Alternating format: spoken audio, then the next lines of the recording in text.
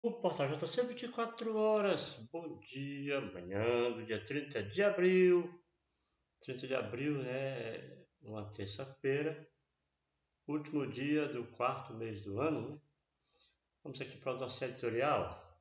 Eu quero chamar a atenção de vocês para duas matérias feitas pela gente mesmo aqui, o JC 24 horas, né?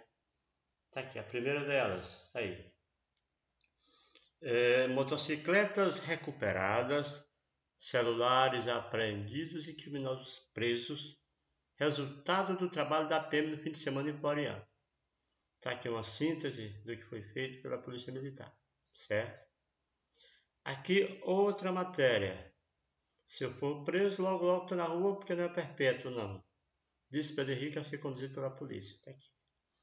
Aqui, essas duas matérias são as provas de que a polícia ou as polícias estão enxugando gelo.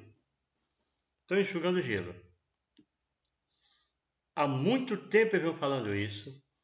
Há mais de 15 anos, 20 anos, quando faziam as audiências públicas para falar de violência, que eu não via a presença de nenhum político que pode mudar as leis, eu dizia para as pessoas que estava todo mundo enxugando gelo.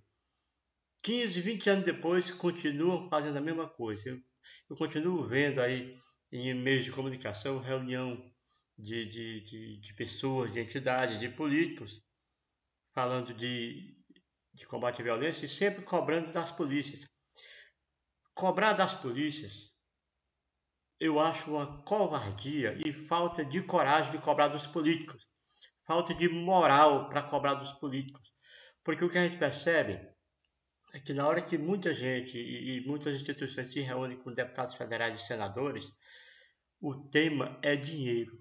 Ou verba para alguma coisa, ou, ou sei lá o quê. Mas só passa por dinheiro. Eu nunca vi, eu nunca vi. Se você já viu, me manda um link que eu publico.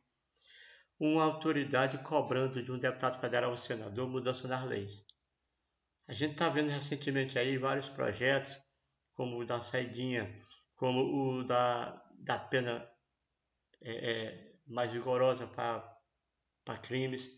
E o que a gente tem visto é a flexibilização, é uma facilitação, é uma mudança quando vem é para piorar e ninguém cobra isso.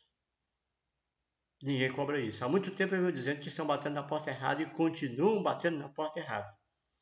O cidadão comum eu fico calado, mas o representante de instituição, ele sabe, sabe talvez mais do que eu, que as polícias não podem fazer nada, porque não adianta fazer isso, tá aqui aprender, prender, recuperar, se o Pedro Henrique Camargo que é certo, logo logo tá solto. É de tombar caminhão. Muito obrigado a cada um de vocês. Que Deus abençoe a todos nós. Portal JC, 24 horas, como sempre.